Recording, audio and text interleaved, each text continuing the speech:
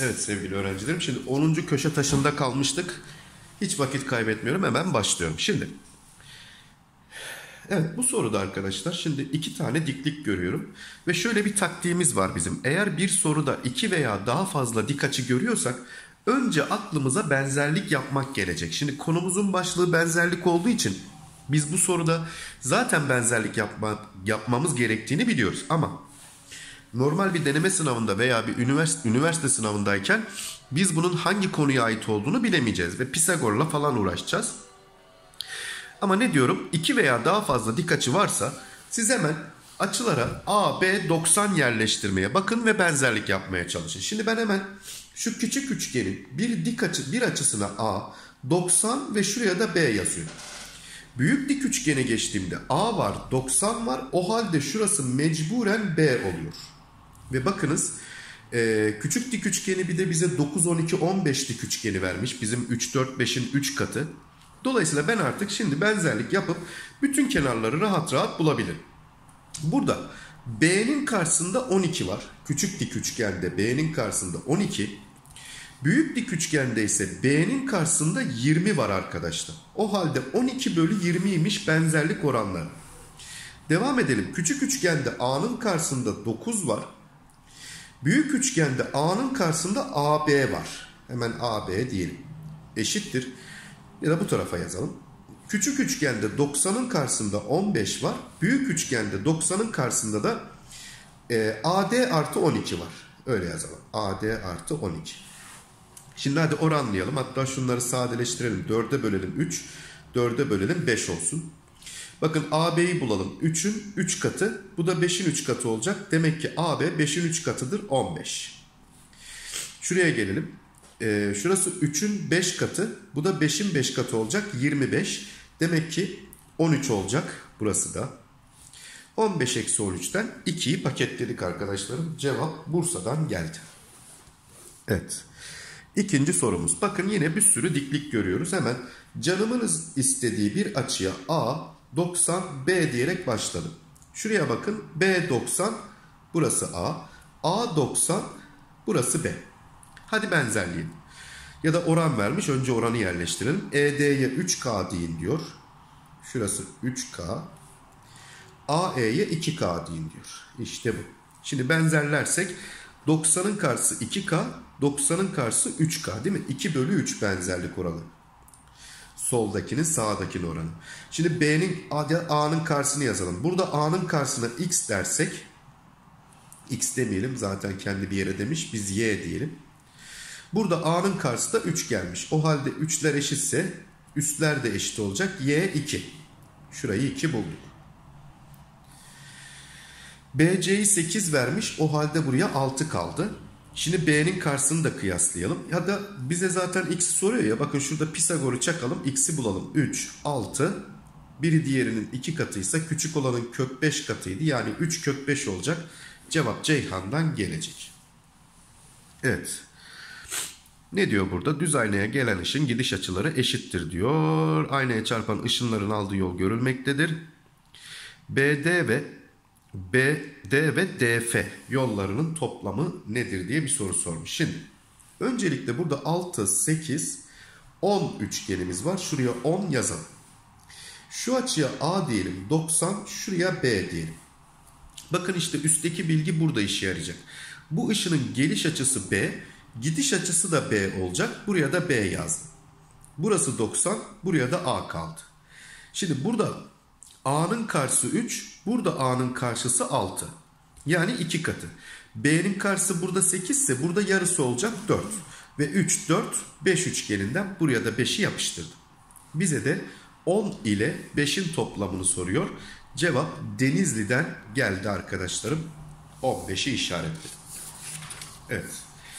Çevirdik 11 numaradayız. Burada da kelebek üçgen, kum saati, papyon kuralı dediğimiz isimleri değişen bir kural var. Hadi bakalım nasılmış. EC'ye 1K deyin diyor. AE'ye 3K deyin diyor.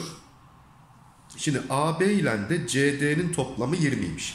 Dostum şimdi bu kelebek üçgendeki şartımız paralellik olacak. Eğer paralelse bunlar Paralellerin oranı yani DC'nin AB'ye oranı şuna eşittir.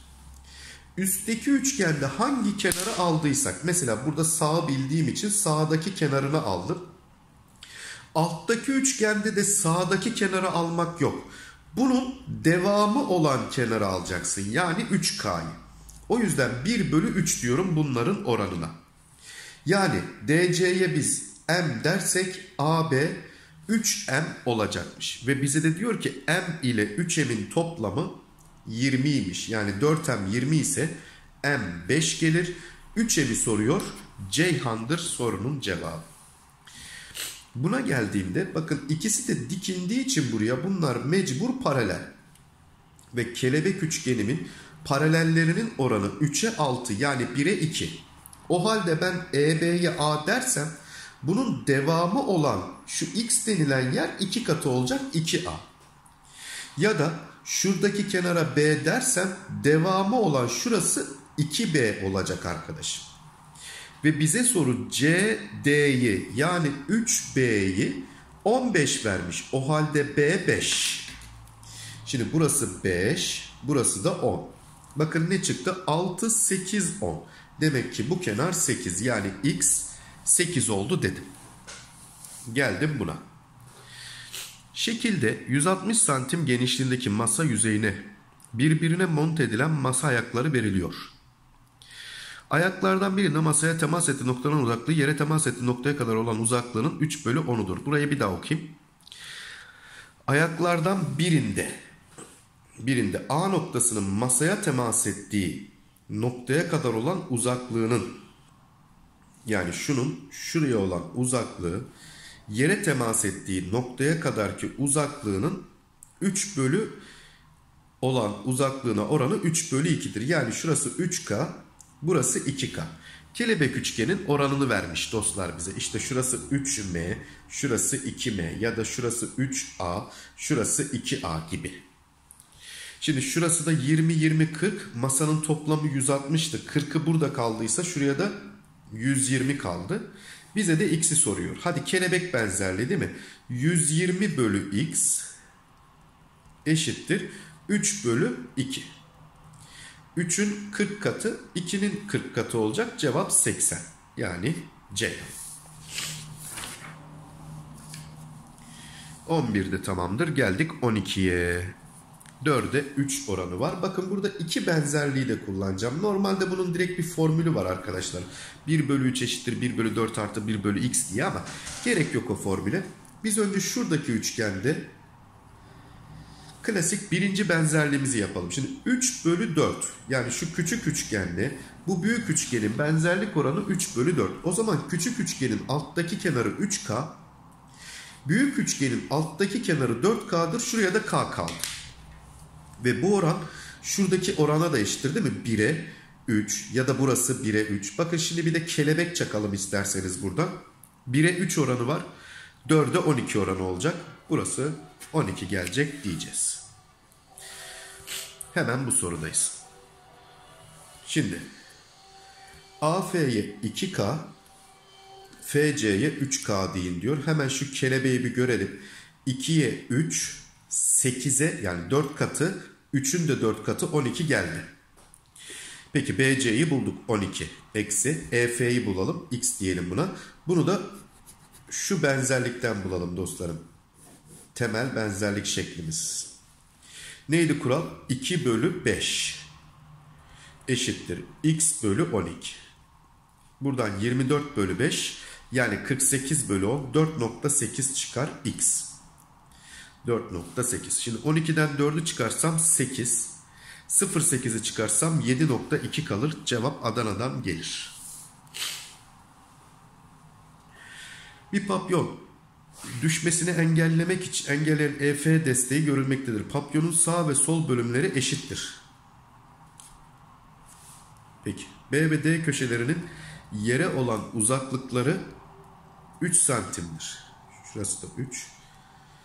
Şurası da 3. AB paralel, EF paralel CD. AB 12 santim.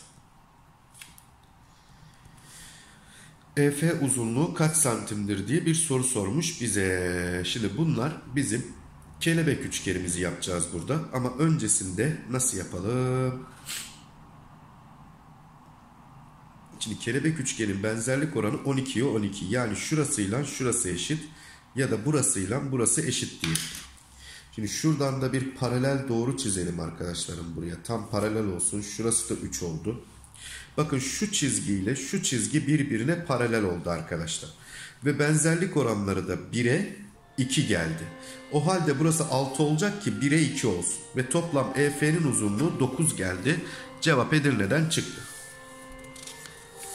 Evet 12 de tamamdır. Geldik 13 numaralı köşe taşımıza. 4, 4, 5, 6, 3, x kaçtır diye bir soru sormuş. Burada da kenar açı kenar.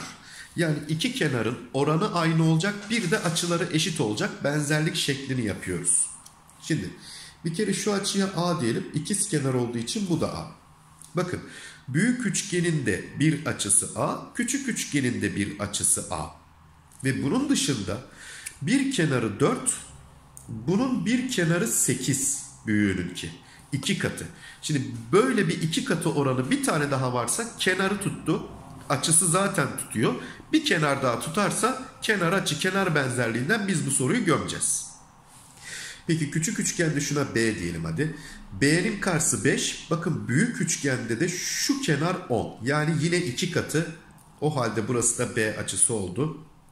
Dolayısıyla küçük üçgendeki üçüncü kenar 4. Büyük üçgendeki üçüncü kenar da 8 olacak. 2 katı olacak. Cevap Bursa'dan geldi. Şuna bakalım. AB paralel CD. Şimdi burada bir paralellik varsa arkadaşım bakın şu açıya A dediğimde bu açı da A. Yani şu üçgenle şu üçgenin birer açıları eşit. Ve kenarlarına bakın 4. Bir kenarı 4. Diğerinin diğer bir kenarı da 6. Bunun kenarlarına bakın. Biri 6, biri 9. Küçükten büyüğe doğru yazdım. Ve oranlarına bakarsanız sadeleştirildiğinde bu da 2 bölü 3. Bu da 2 bölü 3 geliyor dostlarım. Yani benzerlik oranları 2 bölü 3. İki kenarda tuttuğu zaman mecbur üçüncü kenarlarda da tutacak. Yani bunun bir kenarı 2K ise bunun da üçüncü kenarı 3K olacak. AD bölü BC 2 bölü 3 gelecek. Sorumun cevabı Denizli'den çıktı. Bakın burada da kelebek varmış gibi gözüküyor ama kelebek üçgen yok burada. Çünkü paralellik yok. Biz ne yapıyoruz yine? Şuna A, şuna A diyelim. Şimdi soldaki üçgenin kenarları 10 ve 15.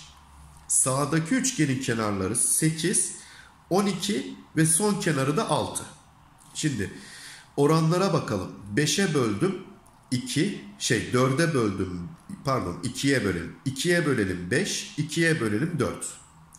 3'e bölelim 5, 3'e bölelim 4. Bakın 5 bölü 4, 5 bölü 4. O zaman bu da 5 bölü 4 olacak. x bölü 6 eşittir 5 bölü 4 olacak dostlarım. Hemen içler dışlar 30 eşittir 4x 30 bölü 4 yani 15 bölü 2 eşittir x çıktı. 15'i de 2'ye bölersek 7,5 geldi. Şimdi zaten birer açıyı eşit vermiş. Bakın üstteki üçgenin kenarları 9 ile 12. Küçükten büyüğe doğru gittim. Alttaki üçgenin kenarları 12 ile 16. Şimdi oranları tuttuysa zaten birer açıları eşit olduğu için benzerdir diyeceğiz hemen. 3'e böl 3, 3'e böl 4, 4'e böl 3, 4'e böl 4. Bakın 3 bölü 4, 3 bölü 4. O halde üçüncü kenarlarda 3K'ya 4K olacak. Yani AD bölü CD 3 bölü 4 olacak dostlarım. Cevap Bursa'dan geldi. Evet 13 numarada tamamdır. Geldik 14 numaranın birinci sorusuna. Üçgenlerin kenar uzunlukları AB'nin 3 açıları veriliyor. Buna göre D aşağıdakilerden hangisidir diye soruyor. Bakın burada kenarlarına bakın. 4 burada 2 olmuş. Yarısı. 6 burada 3 olmuş yarısı. 8 burada 4 olmuş. İşte iki katıymış bu üçgen bu üçgenin. Ve dolayısıyla kenarlarının üçü de eşit olduğu için biz bunlara benzer oranları eşit olduğu için kenar kenar kenar benzerliği diyoruz buna da. Ve benzerseler açıları tıpatıp aynı olmalı. Peki hangi açılar aynı? Orantılı kenarların karşısındaki açı. Hani iki katı olacak ya bak 3'ün iki katı 6. Demek ki 6 ile 3'ün karşısındaki açılar eşit. 6'nın karşısında beta varsa Fransa'da da beta olacak. 8 ile 4. 8'in karşısında teta varsa 4'ün karşısında da teta olacak. 4 ile 2. 4'ün karşısında alfa varsa 2'nin de karşısında alfa olacak. Denizli açısı ne çıktı? Teta. Yani Ceyhan. Geldi. Evet buna bakalım. BC'ye 4K derseniz diyor AE şurası 3K olacak diyor. Peki şimdi kenarlarına bakalım. Küçük üçgende 6 var, 7,5 var, 3K var. 6 var, 7,5 var, 3K var. Büyük üçgene bakıyorum. 8 var, 10 var, 4K var. Şimdi oranları tutturmaya çalışalım. Eğer eşitse yani hepsi 3 bölü 4 çıkacaksa ki bakalım 2'ye bölelim 3, 2'ye bölelim 4. Ee, bu 7,5 e, neye bölelim? 10 ile çarpalım önce. 75 olsun. Bu da 100 olsun. Şimdi 25'e bölelim 3. 25'e bölelim 4. Bakın bu da 3 bölü 4. Demek ki bunlar benzer. Yani 6 ile 8'in karşısındaki açılar eşit. Bakın büyükte 8'in karşısında y var ya 6'da da 8'in karşısında y olacak. Ya da büyükte 10'un karşısında x var ya küçükte de 7.5'un karşısında x olacak. Son olarak 4K'nın karşısında z artı x var. 3K'nın karşısında da x artı z olacak. Neyi soruyor? A, D, E. X artı Z'yi soruyor bize. Cevap Denizli'den geldi. Evet. Burada da şimdi bakalım kenarları orantılı mı? Şimdi ortadaki üçgeni küçükten bir'e yazıyorum. 2, 3, 4. Büyük üçgeni küçükten bir'e yazıyorum. 8, 12, 16. Bakın 4 katı, 4 katı, 4 katı. Demek ki 1 bölü 4 benzerlik oranları. Peki birkaç köşe taşı önce ne demiştik? Üçgenlerin alanlarının oranı benzerlik oranının karesiydi. 1 bölü 4'ün karesi de 1 bölü 16 yapar. O yüzden alanlarının oranı 1 bölü 16 çıkar. Evet bu sorudayız. Şimdi FG'ye 2K derseniz diyor. DE 3K olur diyor ki şimdi bunun kenarlarını küçükten büyüğe yazalım. 2, 4, 2K. Bununkini yazalım. 3, 6, 3K. Ve bakın oranları 2 bölü 3. Bu da sadeleşince 2 bölü 3. Bu da sadeleşince 2 bölü 3. Demek ki benzerler. O zaman açıları %100 eşit. Bunun 2K'sının karşısına A açısı yazarsam bunun da 3K'sının karşısına A açısı yazacağım. Yani üçgen aslında ikiz kenar çıktı. Şurası. Ve şuraya x dediğimiz takdirde bu kenar x artı 6 olur. Burası da x artı 6 olması için buranın x artı 4 olması gerekir. Bizden de gc yani x artı 4 eksi ec yani x. x'ler giderse cevabımız 4 gelir deriz. Evet şimdi tarama testine geçiyoruz. O da bir sonraki videoya kalsın. Öpüyorum hepinizi. Görüşmek üzere.